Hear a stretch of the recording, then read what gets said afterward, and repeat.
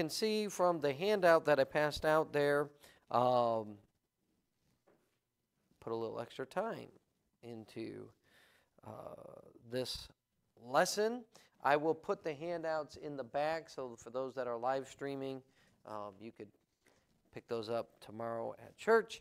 And uh, just left some space there for you to work with the translation uh, work and hopefully be a help to you. So um, I introduced our lesson on prepositions in the last class, uh, but I would just want to kind of pick up with what I was saying about the importance of understanding the prepositions uh, because prepositions show relationship in a sentence. So um, whenever you think about grammar and you think about the relationship between words and the meanings of words, um, prepositions are very important because they, they add description, they add definitiveness, they show relationship uh, in the sentence, and, and then, of course, um, that helps us to understand relationship, the meaning of relationship in life, because we communicate through words.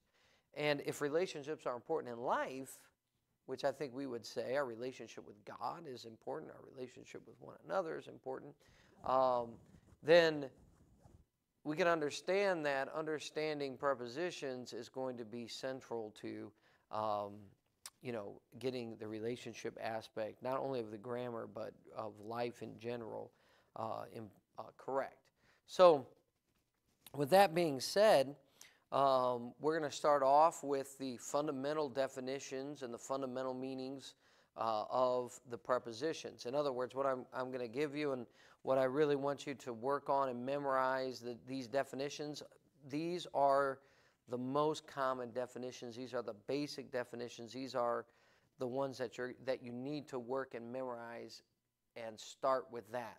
The reason why I say that is because as you build on your knowledge of the Koine Greek, you're going to find that there are nuances with these definitions, and there are certain situations and certain cases where that preposition is going to have a slightly different meaning than what it's normally translated as. But if we just start with all of the, um, you know, exceptions to the rule, then we're going to have chaos. So learn, memorize the basics because the overwhelming time it's, uh, that preposition is used, it'll be translated a certain way. And then we can begin to develop what are some of these cases where there's an exception to this rule? What are some of these cases where maybe a preposition um, in the New Testament is translated a little bit different or in a different way than our fundamental understanding of that, okay? And uh, along with that, I'll just say this that um, there's a, there's a big difference between that and just randomly mistranslating a word or, or saying, well, I think that preposition should be this in this case, if you understand what I'm saying uh, with that. So we'll, we'll, we'll talk about that. But this is this kind of stuff where if, if you don't have faith that God could preserve His Word, then you know your understanding of the Bible is just going to be like alphabet soup, right? You just like dip in your spoon and make a word out of whatever you want, really. So uh, you move away from a position of faith there are there are enough exceptions. And by the way, that's not just true about Greek. It, it's that way about English as well, and, and so forth. There's enough exceptions to the rule. We laugh about learning, and when we learn English and we teach English grammar, especially to uh, uh, people that don't natively speak English, and, and we're teaching them English, and they're trying to get the rules down, and you're trying to tell them like, okay, so you know, every time in English it's said this way, and then you're like, yes, you know, but there are exceptions to this rule. And then that just like throws them all, you know.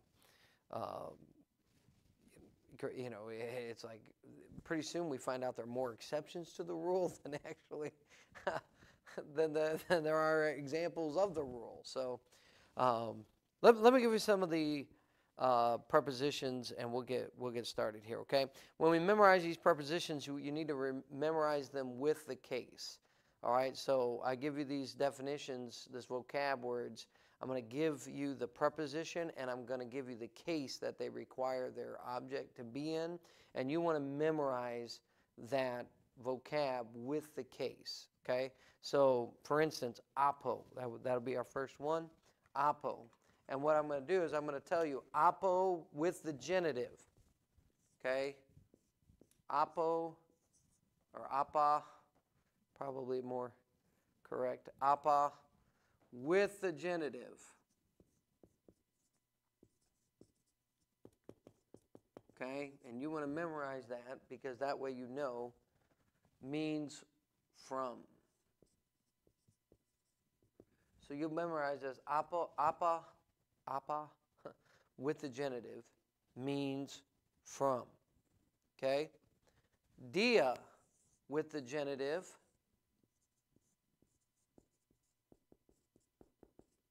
means with.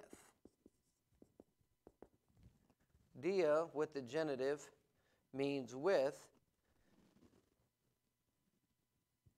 Well, actually, sorry, I got that wrong. Dia with the genitive is through. why I put with. You raise that? Dia with the genitive means through. Okay? Dia with the accusative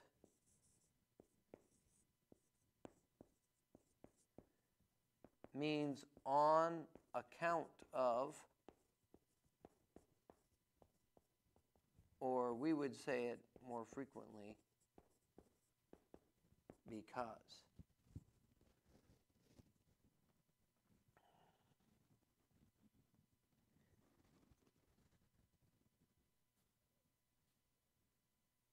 Ace with the accusative means into. N with the dative means in.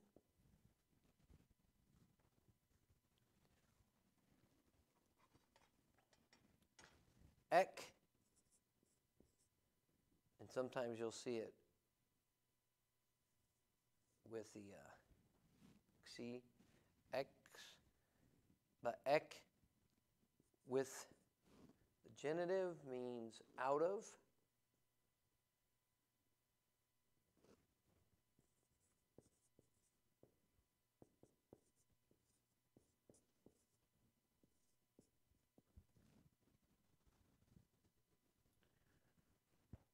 Couple more here. We're not going to give you all. We'll add more. Def, we'll add more vocab as we go. Meta. Okay, with the genitive. Meta, meta, with the genitive means with. With the accusative, means after.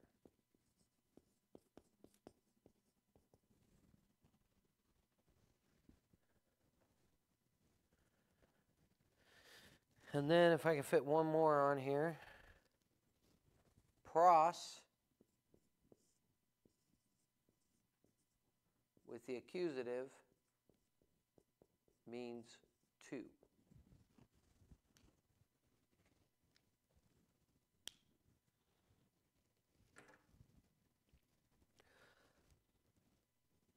So you'll notice that there's a couple of prepositions that have dual meanings or could have dual meanings, right? Meta and dia. Meta with the genitive means with, meta with the accusative means after. Dia with the genitive means through. Dia with the accusative means because or on account of. Okay? So those are a couple, and there's a few. There's a couple other prepositions that that have um, or that can take um, different objects and they have different uh, meanings. Then, okay, uh, apa uh, with the genitive means from. Pros with the accusative means to. Um, ace with the accusative means into. In with the dative means in. Ek with the genitive means out of. Okay. Um, to give you a general understanding of how they how the preposition in, uh, use case. This is just general. It's not general meaning. You know, there are enough examples of this to to recognize a pattern, but it's not a rule. Okay, but basically, prepositions um, in the Greek all right. Use case. Genitive marks separation. Okay. Dative is location. Um, or like a, a resting stative, a static type of position. Okay and the accusative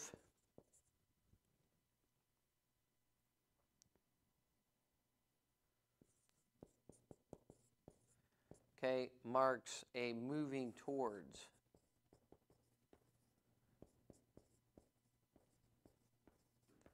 so kind of trying to show relationship between words and and what is happening um, this is a general idea of how they use the case. Again, I say general because it's not a rule, because it's not in every situation can you see this type of relationship between words in the prepositions, but it's there enough for us to acknowledge that, you know, there's a general understanding of that. Okay?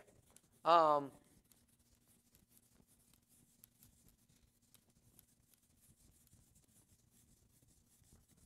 you know, because of this, our sen- now that we know this and we can add this in, our sentences are going to greatly expand uh, what we can say, what we can mean, what we can understand, because we can throw prepositional phrases in there now.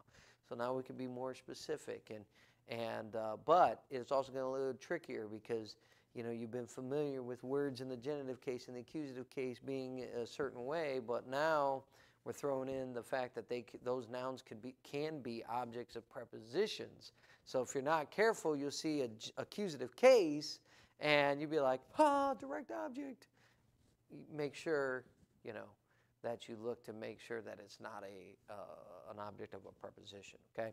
As a general rule, I kind of like to put brackets around my prepositions uh, when I when I translate, right? So I just put like some parentheses around it, so that way I know, okay, that's my prepositional phrase. I'm not going to dip into there for my direct object or my indirect object or uh, what what have you, and, and I can deal with just that prepositional phrase. You're also going to have adjectives within those prepositional phrases, and those adjectives are going to agree with those nouns in person, number, and case. So you have to be careful as you're dealing with sentences once again to make sure that you get your adjectives in the right order and in the right place, describing the right words, um, and understanding that those adjectives are uh, going to be attached to the nouns that they modify. Okay?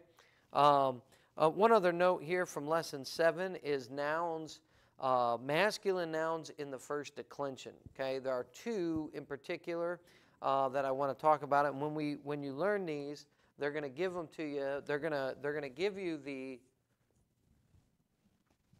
the masculine article. They take the masculine article, but they decline uh, in the first declension. There's two that we're going to learn. There's prophetes.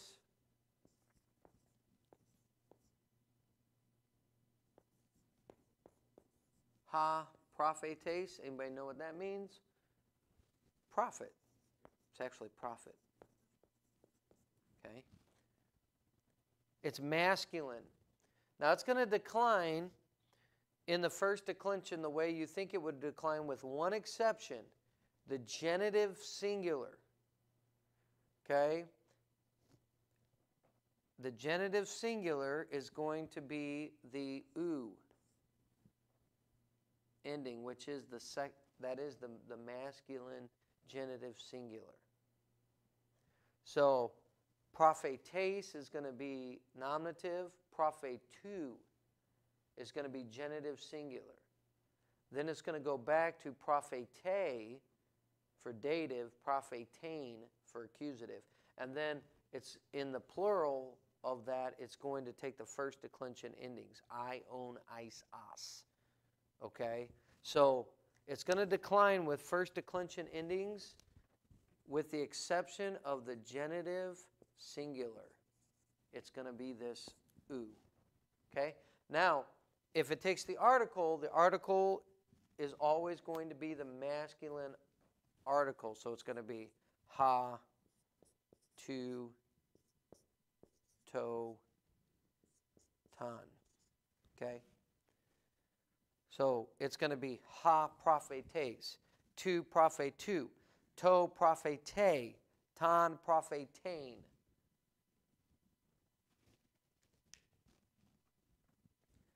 Tois prophetais. All right, I own Isaias, prophetais. Sorry, but it's going to take the the masculine article, even though it's being defined here. It's a masculine noun of the first declension. Okay, the other one is ha mathetes.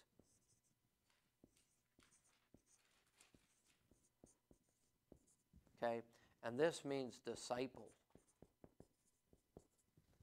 We get the, the English name Matthew from this, Mathetes. Ma- Matthew means disciple. So these are two masculine nouns in the first declension. There are, there are some other examples that will add to our vocab later. The only way you would know is just learning the vocab.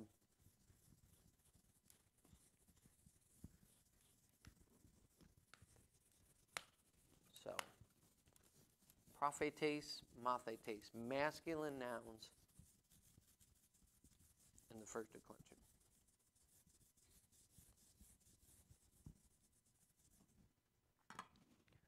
Okay. Um, see if there's anything else I want to mention.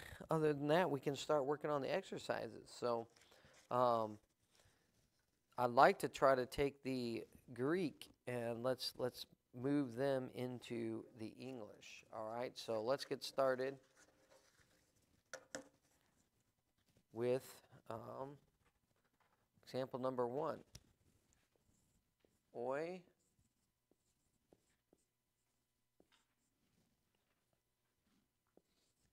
Mathetai, tone,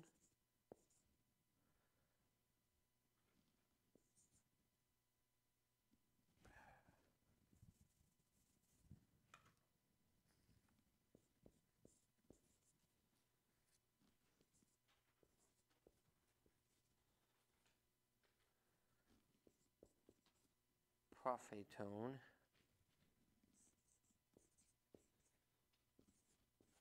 Menusin.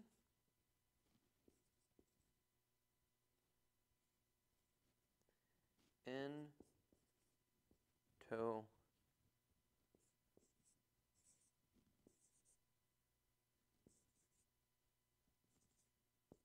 Cosmo. Okay? All right, so kind of giving you some of my tips. You don't have to take this, but if I'm, I'm coming to this, I'm going to start to translate it. You know, whether on my paper or otherwise, I'm going to I'm going to split off a prepositional phrase that I recognize into Cosmo. All right, so we're going to translate this, but this just kind of gets this out of my, you know, lets me identify that as a prepositional phrase. Nothing else is jumping off the page to me as a preposition, okay? So, what is our verb? Let's start with our verb here and, and go from there. Menusi, okay? Menusin. What do you know? What, what's the vocab? This is probably the ending, and what do we know about this ending? Usi. So what, what is that? Yep. Third person plural. Okay, so it's going to be they or whatever. So with that with that given, what do we know men, meno from our vocab means to, I believe, remain or abide. Um, yep, I remain. I remain. Okay? So we have they remain or they are remaining. Now, do we we we notice this, right? So believe we have our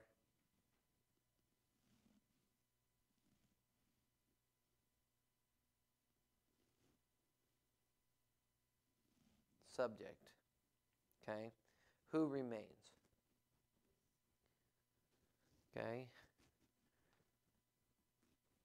You look puzzled. so we have remain, or are remaining is our verb. Now we want to look for who remains. Who is remaining? So we're looking for a noun in the nominative case. And we notice that is the plural. It's a plural noun. We know that because this is plural. The verb is plural. And we notice that this is nominative plural. And it goes with this. Now, this is a masculine noun of the first declension that we just learned. So we have the masculine article, but we've got the feminine ending here. But this is in the nominative case. Okay? So that's going to be our subject. And it means the Mathetes, disciples. So who's remaining? The disciples are remaining. Okay? But we have this phrase right here. What do we know? What can you tell me right off the bat about that ending? What is it? Genitive plural. Genitive plural, okay? Tone is a giveaway because it's the same you know, across the board. Masculine, this tone is going to be the, the giveaway for genitive plural. But so the disciples, genitive plural, means of the prophets. Genitive plural. Of the prophets. Okay? So, remain. So, the disciples of the prophets remain or are remaining. And then what do we see here? Our prepositional phrase telling us where they are remaining. And it is in with the dative. What does in with the dative mean? What's our vocab? In. So they remain in. And then we see our object is in the dative case. Is it singular dative or plural? Singular, okay, correct. So they remain in the cosmo. What is cosmos? What's a vocab? In the world. The disciples of the prophets are remaining in the world or remain in the world. Ta da!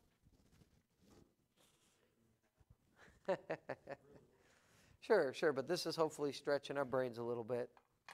Okay? So let's uh, take number two there. Take two. Boy, they threw in the masculine nouns of the first declension right off the bat. This is like baptism by fire.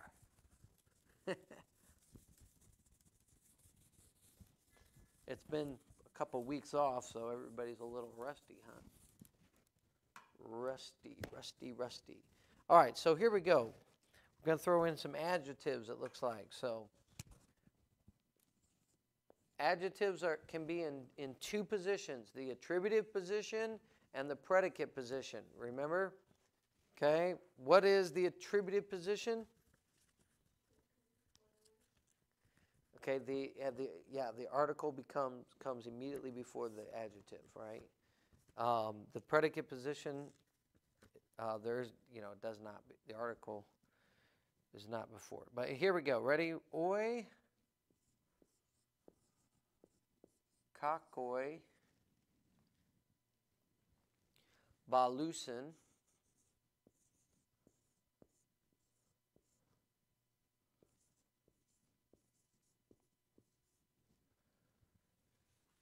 Litho, lithus.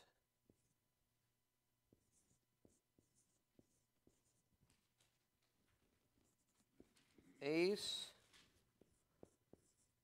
Ton oikon. Tone. Mathetone.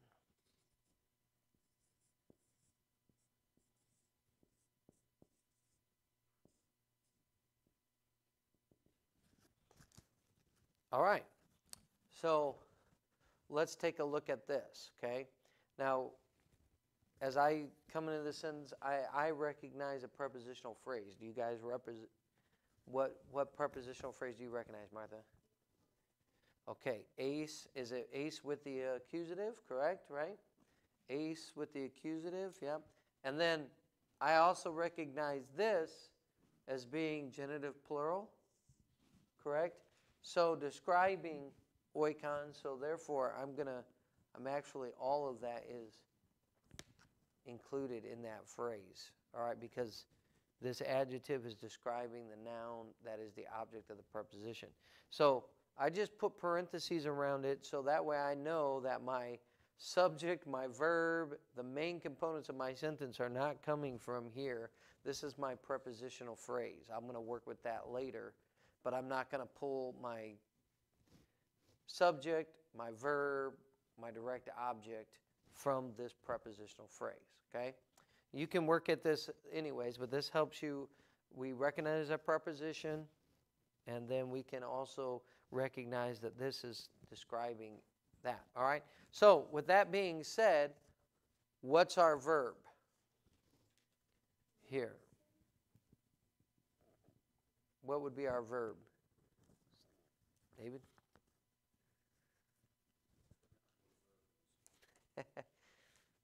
that one shows action.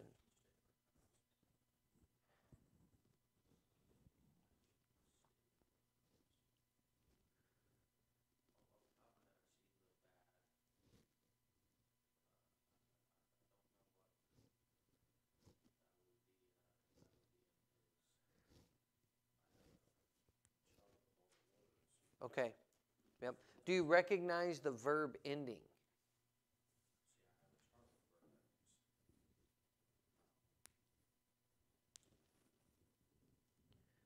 O ace a amen ete usi. Do you recognize any of those endings?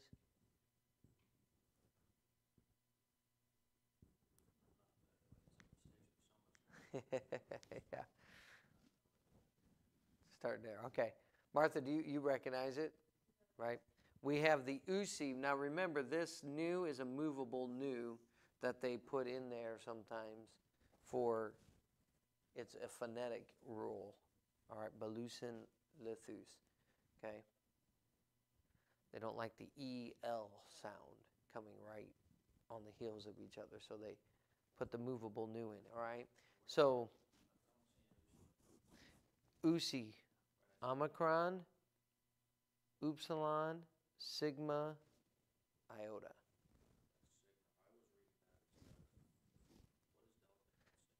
Delta looks like a D.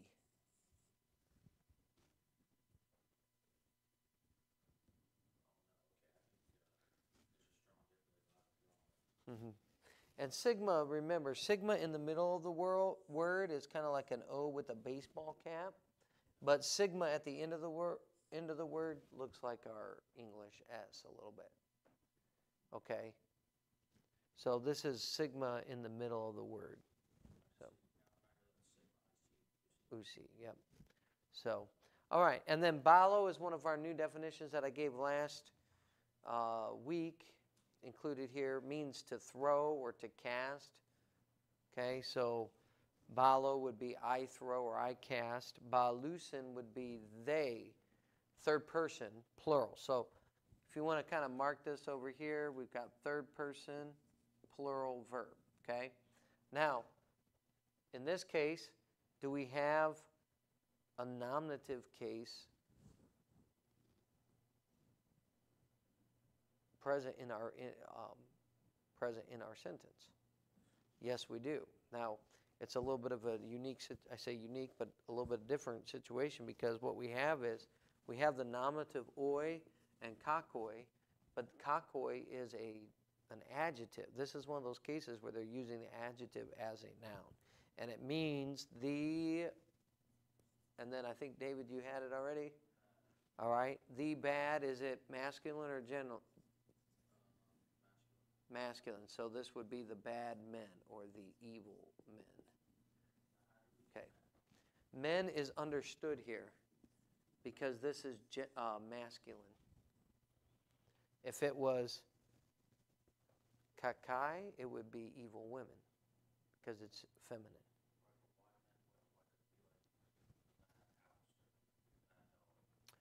Um, in this case, the understanding is, is that this is something that a person does. So the evil men, like like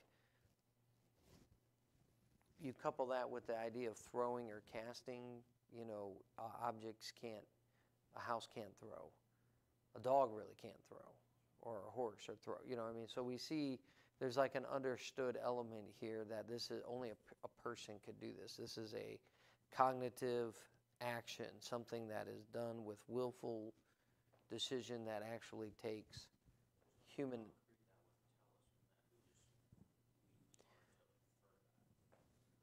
You know, in this case, to say concrete, I would say, you know, yeah, this is pretty close to concrete because this is masculine, plural, the evil men. You know, so yeah, I would say, uh, me personally, I would say it would be concrete. In other words, the, uh, the meaning is there. If we were to translate this, we would probably put the men in there. Okay, now in your King James Bible, they would probably put it in italics. But that doesn't mean that it's not supposed to be there. Yeah.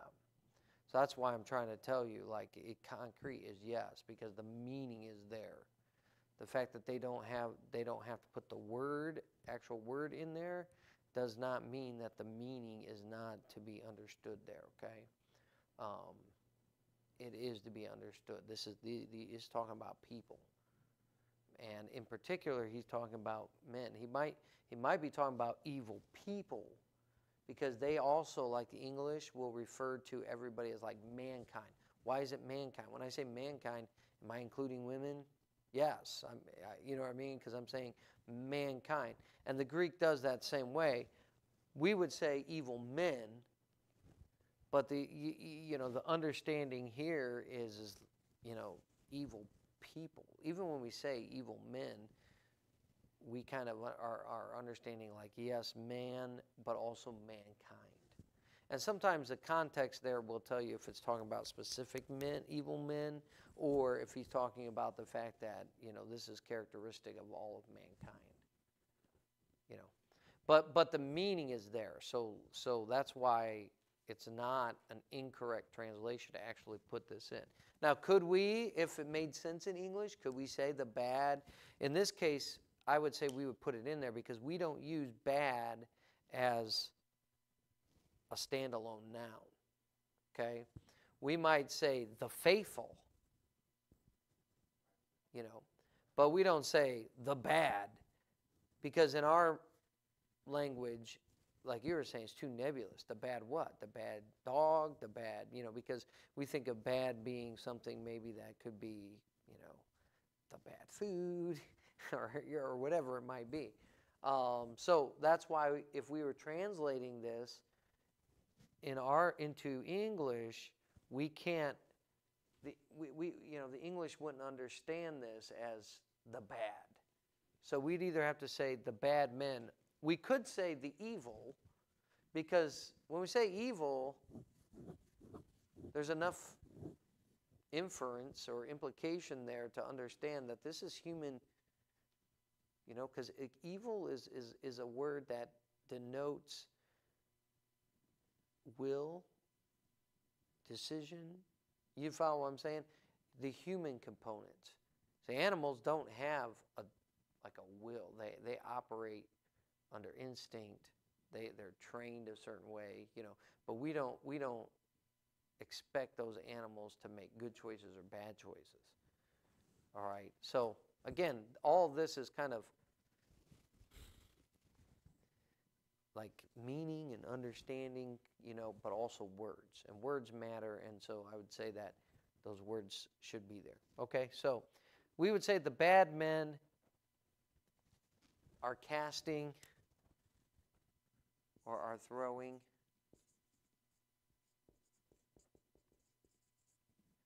Lithus. We have the plural accusative. From lithos, what is lithos?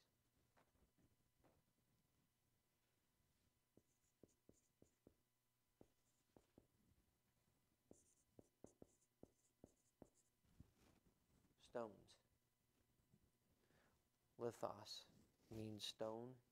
Okay? There's no definitive article here, so just not these stones, but just stones. All right? So the bad men are casting stones. And then we have ace, ton, oikon, tone, matheton. So ace with the accusative means into. Ton oikon is, is accusative. Is it singular or plural? It's accusative singular. What's our vocab? Oikon. What's oikon? House, right? Into the house. And then we have our genitive plural. That giveaway tone. Okay, genitive plural. Mathe tone. So of the, and again, genitive plural, disciples. So the bad men are casting stones into the house of the disciples.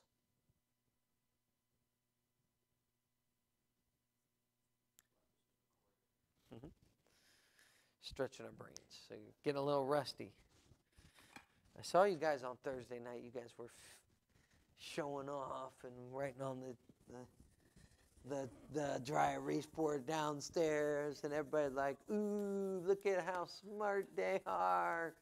Woo!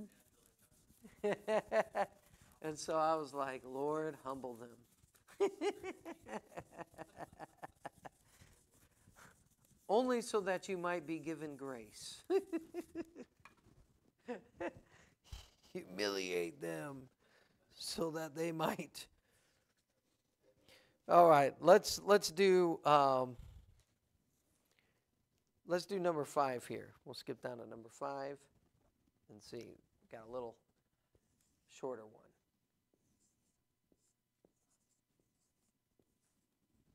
Hatheos, Erene,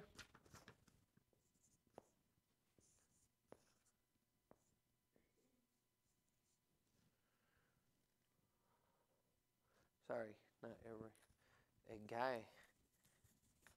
Get this correct here.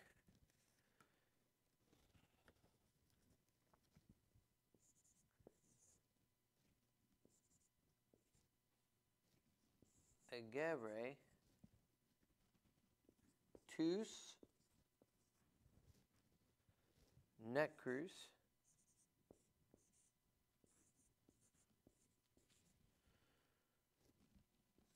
ek, thanatu.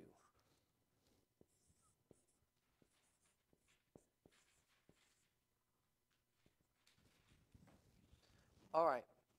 Do we recognize any prepositional phrases? Ek. Ek thanatu. So we're just going to we're going to br- branch that out so we don't uh, get confused. Okay. Um, let's start off with our verb, agere. O ace a, agere is third person singular. What's the vocab? Egeiro means to raise up or raises. All right, and then is that what's our subject then? Who's who's doing the raising? What's our nominative case noun here? God. Yep. And we would we wouldn't say the God, we would just say God, because let's see, you know, it's understood that this is God. The God is God.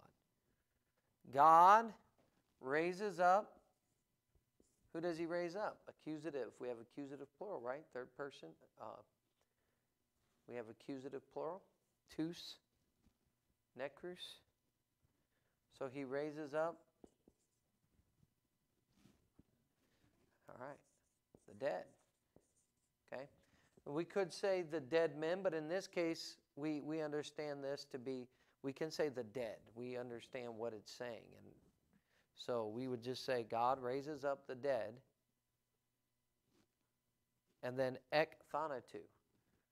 What is ek with the genitive?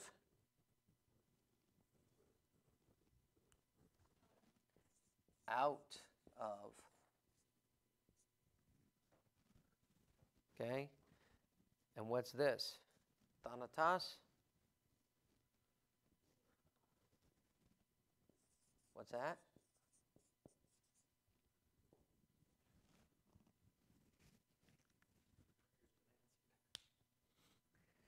We got to learn our vocab too. We got to keep working on our vocab.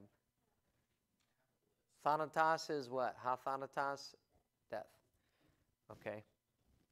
So, God raises up the dead out of death. All right.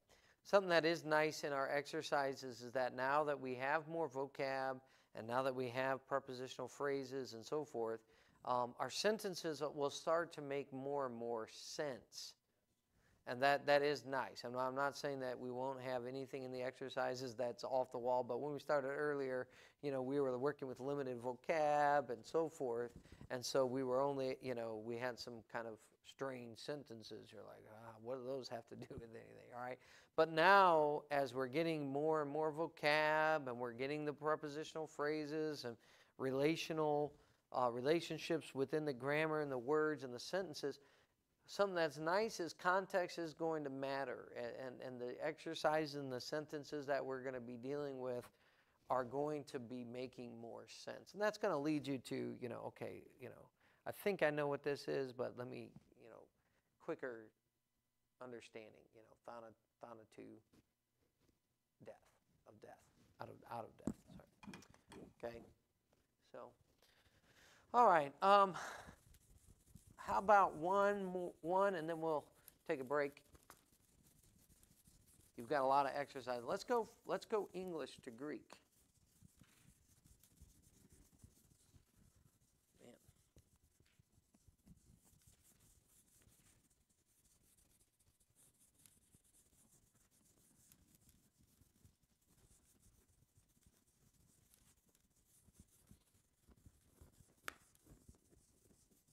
Got to really scrub. Get this board clean. All right, um, let's go English to Greek here. Um, um, let's do number six. Through the voice of the prophet, the Lord is teaching the disciples. Okay? Through the voice of the prophet. Now, whenever we can, and, and this is one of the things I like about our authorized version of the Bible, is that it was a word for word formal translation. In other words, they kept the, the, the words, if it was a noun in Greek, they tried to keep it a noun in, in English. Now, that may be like, well, isn't that a given? For the majority of words, yes. But there are times when there's participles that are that are hard to translate, uh, phrases and so forth. But for the most part, what you have in a in the authorized version of the Bible is a formal, equivalent translation. All right, and along with that, if they could keep the word order in the in the same way as it was in the Greek, they would. In other words, as as long as it was understandable in English, they would keep the word order the same, even if we don't generally talk that way. Um, if we could understand it in English, th- then they would keep it that way. So I say that to say, as we come to this, we may not always, you know, through the voice of the Lord, uh, through the voice of the prophet, the Lord is teaching the disciples. We may, they may not be the the most frequent way we would say that. We would probably say the Lord is teaching the disciples through the voice of the prophet. That's probably generally how we would talk in English today. But what we try to do, and what I love about the authorized version, is, is that it kept the word order the same. We can understand this. In English, it's, it is proper grammar, even though we don't talk like this all the time.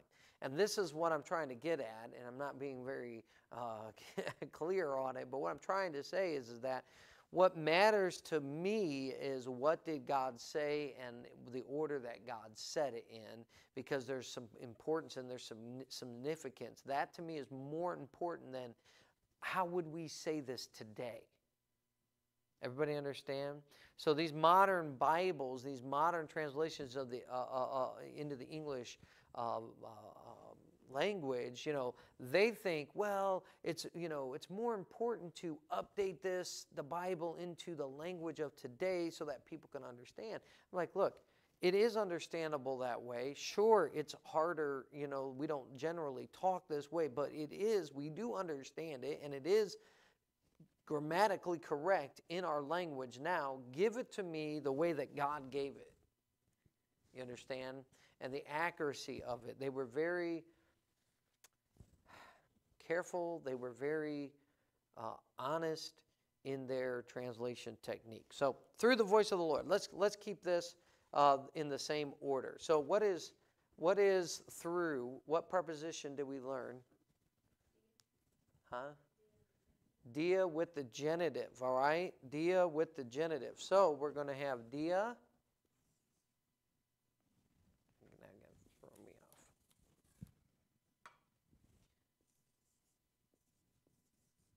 dia, and then it's going to take the genitive. So the voice, the voice. What is the word for voice?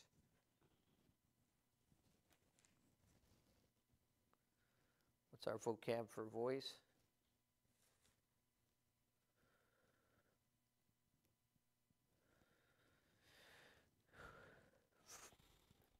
Believe it's um, phone okay? Phone. And uh, so this is first declension, singular genitive. So what's our article and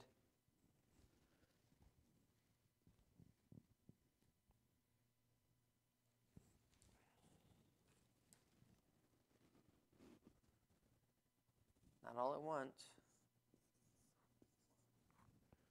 Genitive singular. Taste,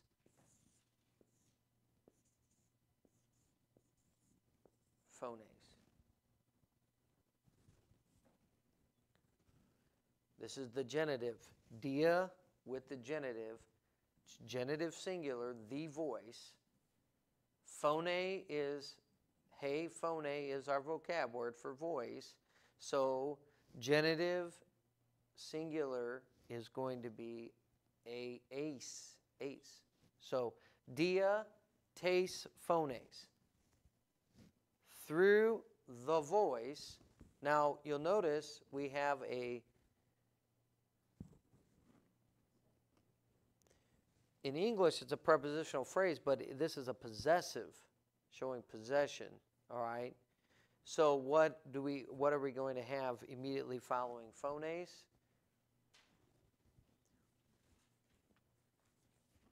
It's going to be a genitive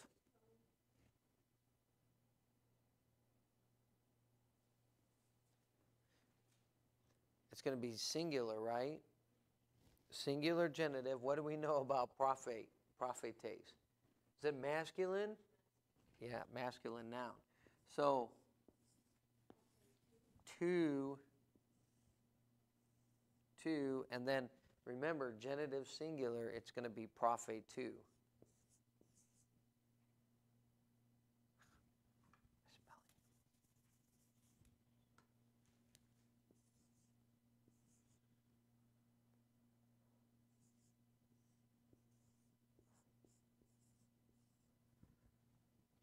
Okay. So whose voice? The prophet's voice, the voice of the prophet. So dia tes phones tu prophetu, through the voice of the prophet. And then we have our subject. What's our vocab for Lord?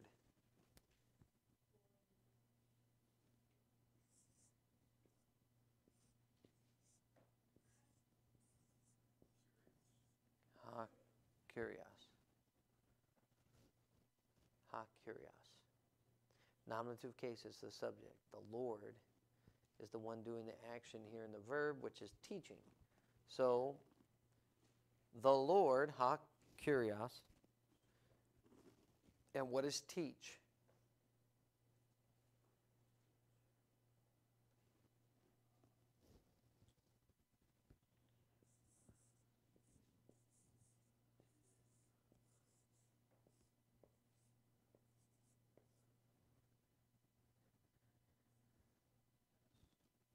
From didasco, which is I teach, it's going to be third person singular because it's talking about the Lord. So third person singular, which is o ace a.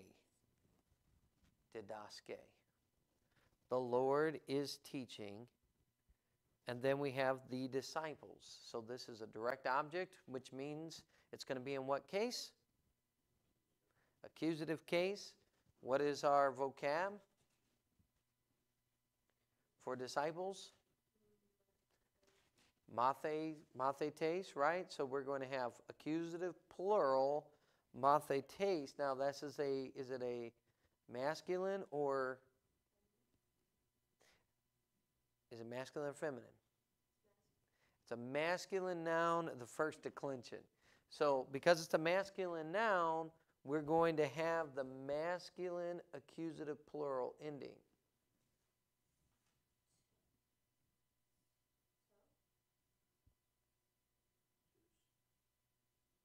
Twos. And then, no.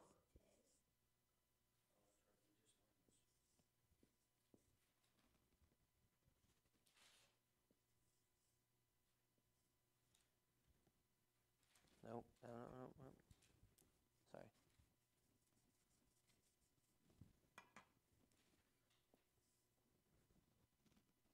I own ice us.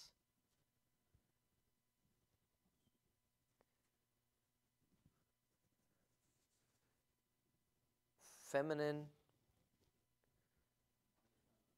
accusative plural. Well, I say a feminine, but first declension accusative plural. So it's actually a masculine noun in the first declension, which first declension nouns primarily are feminine. But this is a masculine noun, but it does take the first declension endings except for first person genitive. Or sorry, it's not first person. Genitive singular. It is, so we use the first declension, not the second declension ending. Accusative plural.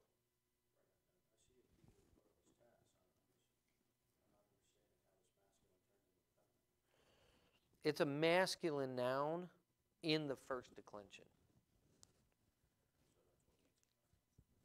It's not feminine, it's masculine. That's the, the noun is masculine. It's it, it takes a feminine ending except for one yeah, the genitive singular. And it always because it's masculine, it takes its adjectives in the masculine form and the article. So that's why we're using the masculine article. Yeah. Yeah, there's this is an exception. Definitely an exception. Prophetes and mathetes. They're masculine nouns that are in the first declension. So we have the masculine article, accusative plural, tus, but we have the mathetas, first declension endings, which are generally feminine endings, but first declension because this is a masculine noun. So we'll just call it first declension instead of feminine endings. We're going to say first declension ending. so, all right. Let's uh, let our brains relax, and we'll come back and dig into First Corinthians chapter 2. I, I did not pray for humility. I did not pray and ask the Lord to humble you guys. I was just teasing.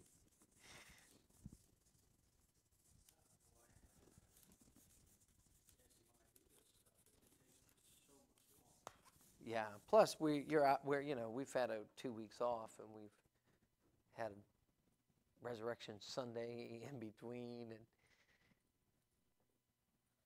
it was a lot of fun and a lot of work and a lot of activity going on, but it also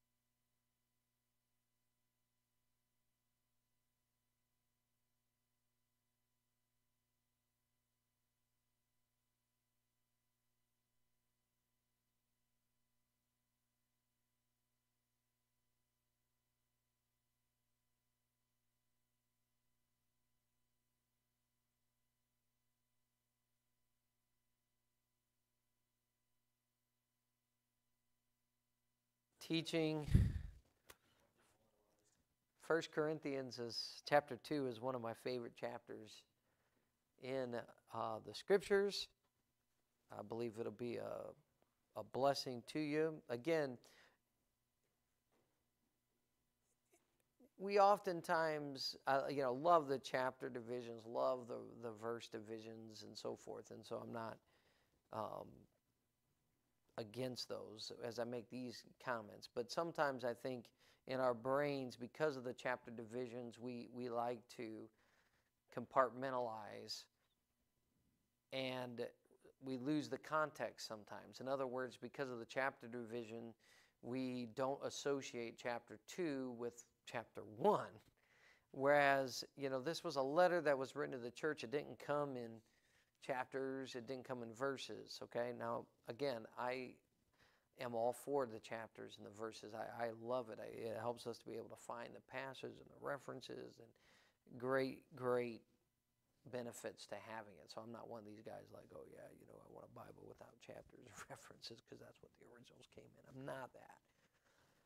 But we all we do have to be careful like that we don't just like rip chapter two out from chapter one. It they, they, it's building on what was said in chapter one. So at the end of chapter one, he's talking about the fact that God has ordained the church to operate in this manner that that the power of God was going to be seen through the preaching of the cross.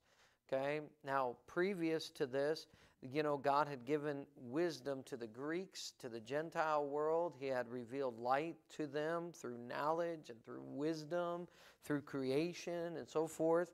Um, but to the Jews in particular, God had given them uh, revelation, but that revelation, uh, in order to prove that it was from God, that the message was from God, that the words were from God, those uh, uh revelations or those prophecies were accompanied with miraculous signs. Okay? And the Jews were told, you know, that that was their special uh, benefit, if you want to call it that, that God had given to the Jewish nation so that they might know that a message was from God. It was to be accompanied with, you know, a miraculous wonder or sign. But now God is teaching, He's saying, hey, look, God is the, the wisdom and the power of God Okay, you see how Gentile and Jew alike are now being combined. He says the wisdom and the power of God are now currently going to be revealed through the preaching of the cross. Chapter 1. Why? That no flesh should glory in his presence. Everybody see that? That's what he said. All right? No flesh is going to glory in his presence. Uh, it's just going to be a message that's delivered, and people are going to have to believe it all right, the, the convicting of the Holy Spirit. Uh, and, and by the way, the, the gospel is a powerful thing. It's a miraculous thing. It's a wonderful thing, right? We hear that Christ died for our sins according to the scriptures. He was buried, he rose again. We believe it. And there's a life changing uh, occurrence, that ex, uh, experience in our heart, and the power of God, and the wisdom of God uh, in, in, in making a new creature. Now, all of this the Apostle Paul, the Holy Spirit through the Apostle Paul, is going to teach the Corinthian church. These are all very familiar uh, passages. If you've been saved very long, you know if any man be in Christ, he is a new creature. Guess who that was written to? That was written to the Corinthians. All right, so he, the apostle is going to explain all of this to him. He's going to show him, like, hey, there's nothing short of a miracle that occurs in the heart of a man who believes the gospel. But right now, he's laying that foundation. He's reminding these Corinthians that when I came there, I did not come with miracles. I didn't come with eloquence. I didn't come with logic. I didn't come with arguments that, that amaze Socrates and Plato. And if you were to put a, you know, Mount Rushmore of philosophers up, you know, it would, it would be those guys and the, and, uh, and the Apostle Paul. You know, no, he says, look, I came to you in weakness. I came uh, to you with just a message I just preached. I preached Christ crucified. And you know what? The, the, the Greeks were not impressed. They thought it was foolishness. The Jews refused to believe it because there was no signs, there were no miracles. Now, Paul could do miracles. Okay, he had apostolic sign gifts that were given to him, um, and and he would use those as the Holy Spirit would allow him to, and so forth. But when he came to this particular church, he said, "You know what? I am going to preach Christ crucified. I'm not even going to get involved in baptism that much. This is chapter one. I'm reviewing it. Paul's just saying, look, I didn't hardly even baptize any of you because I was determined that I was going to preach the gospel, that this church was going to be founded on the power of the preaching of the cross of Jesus. Now, with that being said, we move to chapter 2. And Paul begins to show them how they can know that a message is from God, how this works. How does God uh, do this mighty work of salvation through the preaching of a message that is unimpressive to the, to the Gentile world and that is not accompanied with miraculous signs which the Jews required. And so he's going to lay that out in chapter number two. All right. The ministry we're going to talk about. Uh, we're going to talk about both the ministry and the manifestation of divine truth. Divine truth in this chapter. Okay. Uh, how it works and how can we identify that this is a work of God. So we begin here by talking about the ministry of divine truth in the first uh, nine verses uh, first eight verses of chapter 2. In verse 1, And I, brethren, when I came to you, came not with excellency of speech or of wisdom, declaring unto you the testimony of God. For I determined not to know anything among you save Jesus Christ and Him crucified. And I was with you in weakness and in fear and in much trembling. And my speech and my preaching was not with enticing words of man's wisdom, but in demonstration of the Spirit and of power, that your faith should not stand in the wisdom of men, but in the power of God. Notice, if you would, the manner of the ministry, the manner of this ministry. Paul conducted his ministry much differently than many men do today. All right? Men want to be thought of as, you know, gifted. They want to be uh, eloquent. They want to be funny. They want to impress people with their speech and their style.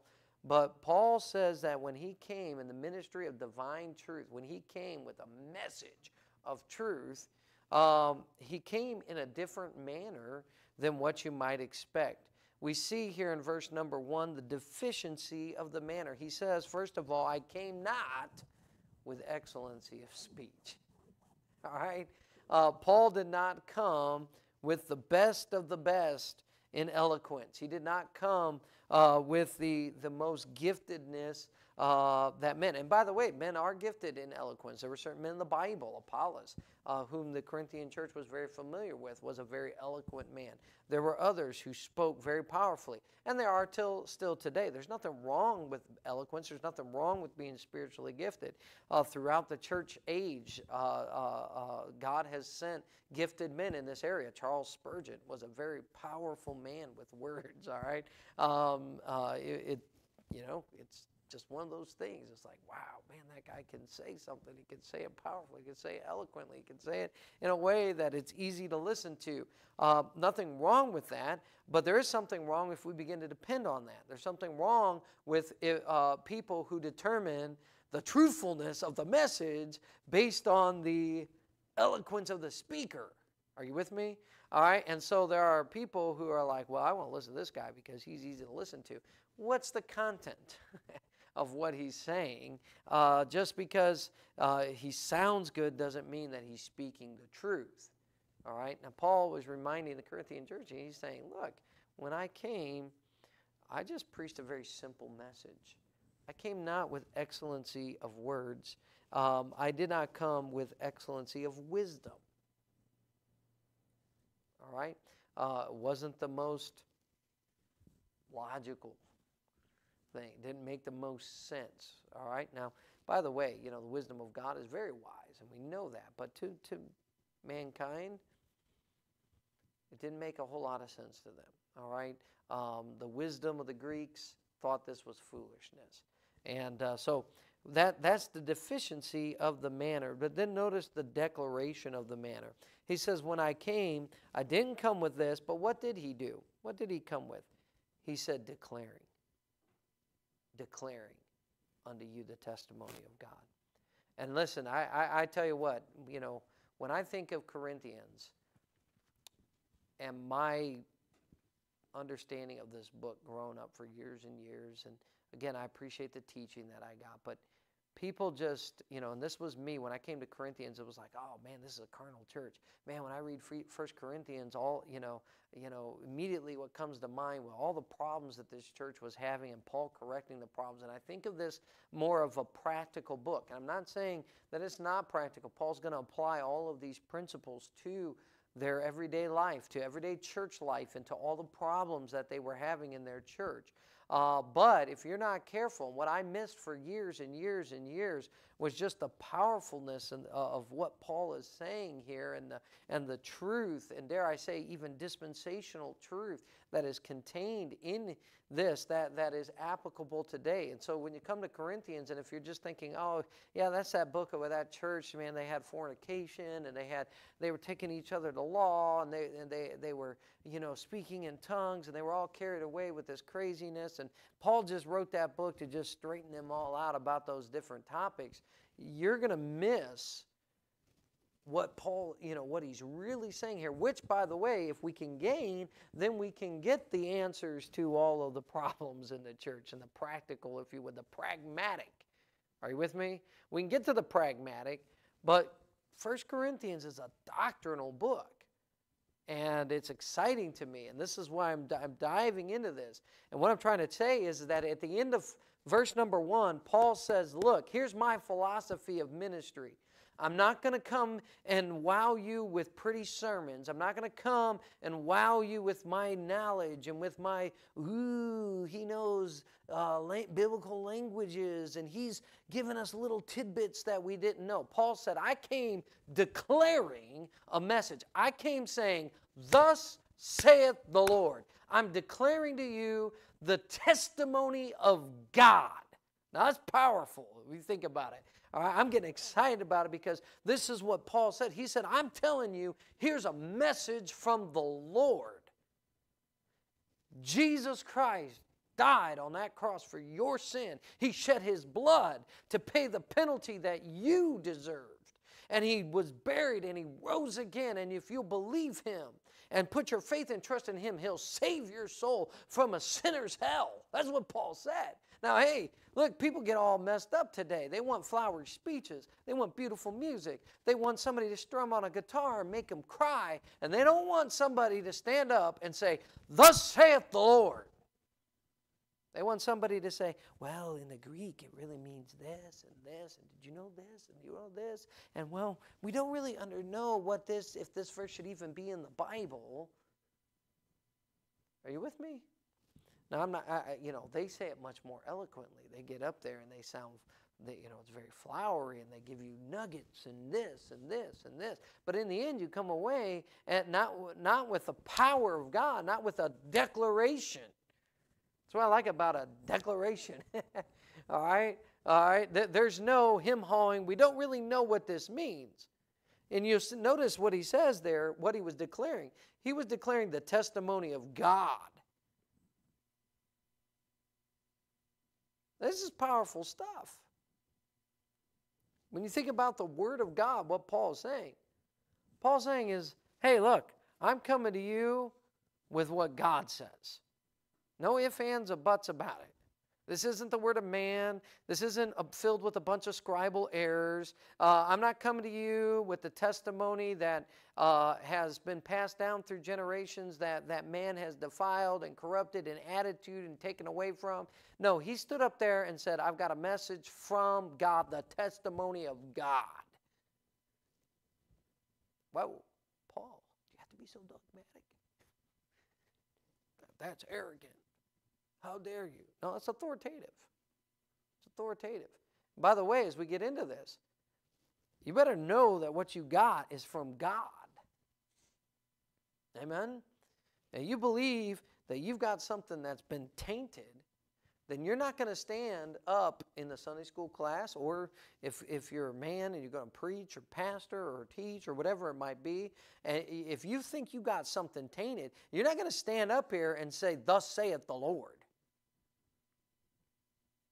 You're going to get up there and you're going to think, Well, we, more likely than not, this is what God meant. Come on, man. What kind of teaching is that going to produce? Right? And, and so Paul here is saying, look, man, I came and I, did, I didn't have, there was deficiencies uh, in my wisdom. There was deficiencies in my words. But man, did I declare to you what God has to say. Amen? And so that's the manner of by which Paul went about his ministry and ministering the truth, the truth. All right? Notice in verse 2 then Paul's motive. We see the motive for the ministry. He gives us some insight behind why he chose us. He says there, For I determined not to know anything among you save Jesus Christ and him crucified. I like what Paul says here. He says, I determined.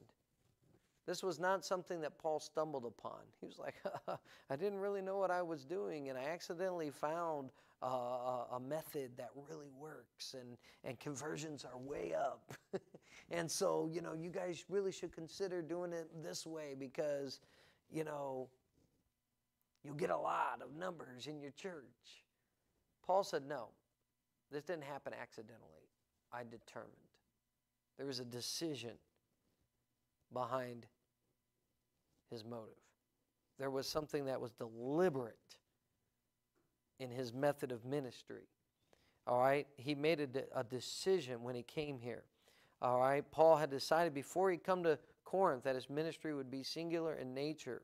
He says, uh, not to know anything among you. This does not mean that Paul would refrain from being a busybody, but that the only thing he needs to know for his ministry in Corinth is the gospel. Now, this is coming right on the heels of Paul, you know, having debated with the Epicureans and the Stoics at, at Athens. All right, he had just been there immediately preceding his trip to Corinth. He had hobnobbed with the philosophers. He had tried to persuade through debate and through reason and through uh, wisdom, if you would. And, and Paul was no slouch when it came to this. He was a very educated man. Uh, he was he was gifted in, in philosophy. He was he and, and we see that throughout his epistles. I mean, he quotes poets. He quotes um, different uh, statesmen of, of the day and so forth. Paul was no country bumpkin. Not that there's anything wrong with a country bumpkin, but he wasn't. As he stated to the Philippians, he was very zealous, religious, educated, gifted from every human type of, of standpoint. Paul could have tried to go that route and done that method, but he didn't. He said, I determined that I was going to just preach the gospel. I was just going to preach Christ and Him crucified. He says, I not to know anything among you save Jesus Christ and Him crucified. You know, you can talk a lot about Jesus and avoid the cross.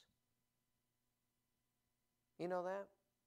If you're not careful, go into the world and just try per, to persuade Jesus, man, he did a lot of miracles.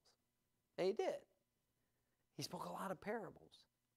And, and he did. But Paul, when he came to Corinth, he wasn't focused on the teachings of Jesus. He wasn't focused on so much the miracles of Jesus. He wasn't focused on uh, how good Jesus was and how palatable Jesus is uh, to society. Paul was not running these PR campaigns. He gets us, trying to make Jesus, you know, seem like the, the most uh, compassionate and caring. Jesus is all of that, but he doesn't need all of us to run around and be his PR agents. He needs us to preach the gospel. Christ died. Jesus Christ and Him crucified. We're not going to skip over uh, the most important message about Jesus, and that is, is that He died on the cross for our sins. In verses 3 through 5, we see the might behind the ministry.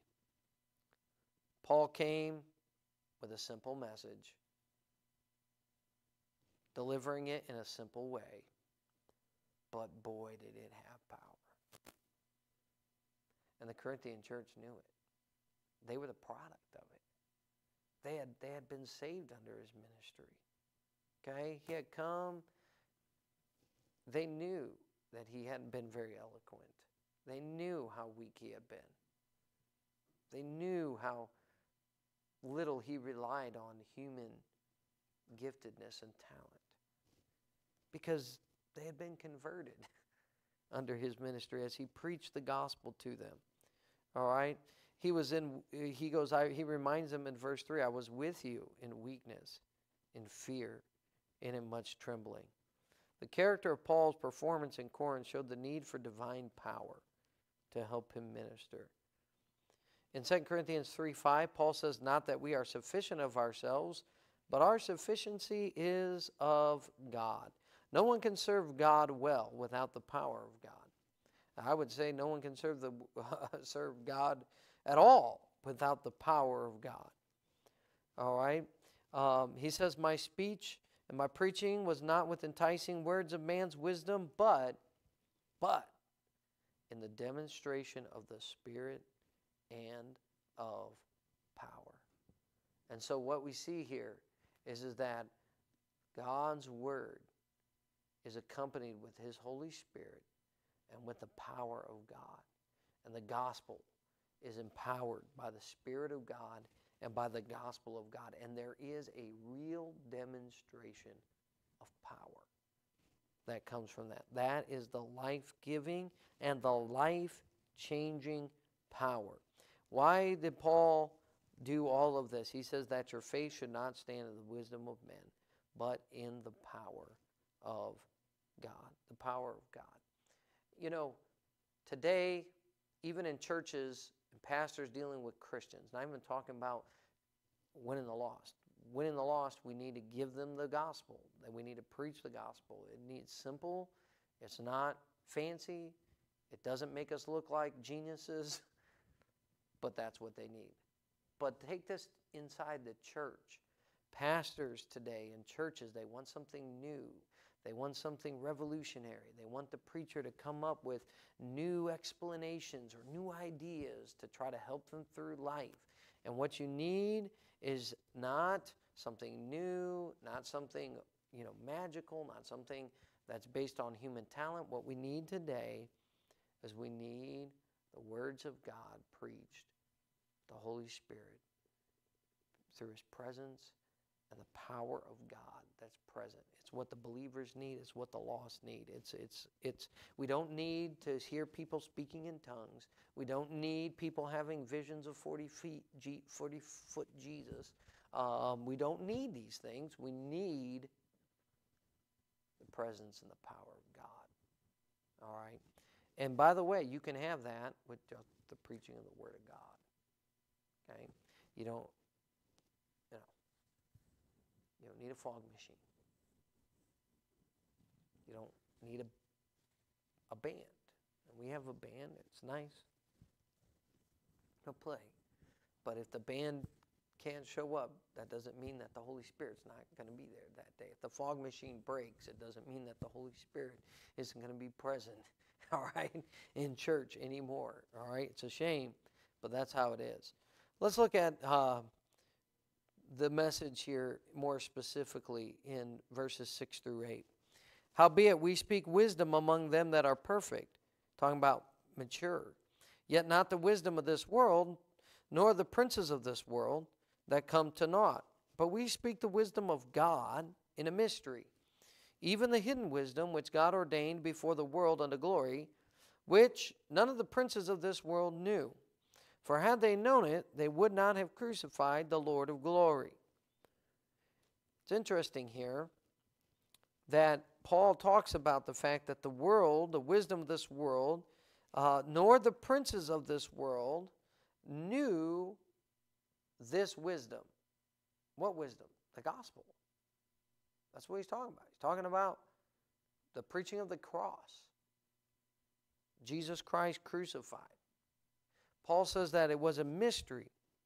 Um, it was a mystery. It was hidden. It was hidden in the Old Testament. Um, it was hidden from the wisdom of the world, and it was hidden from the princes of this world. Now, this is not talking about individuals, not talking about people. All right, you look and you study this throughout the Bible, it's talking about spiritual beings who have knowledge and wisdom, and they impart that to men, uh, particularly, you know, in order to take men away from God, in order to get men infatuated with their knowledge and their technology and their abilities, and not to be enamored with the message from God, the life saving message from God. And I'll tell you, one of the biggest hindrances that to the gospel today is the cell phone. It's the it's all this knowledge that where did it come from? It, it just seems like it's too incomprehensible to even understand all of this stuff. And and I, and I personally believe that this was knowledge that was imparted to man. Okay, probably more than likely from the princes of this world. But here's what Paul said that they didn't know.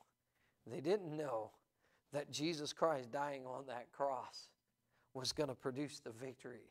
They didn't know that the power and wisdom of God uh, would be manifoldly manifested in the church age through the gospel. They didn't know that because had they known that, they wouldn't have crucified him. All right? So, we'll talk a little bit about that some more next week. But I think for now, our brains are full. So, anybody have any questions?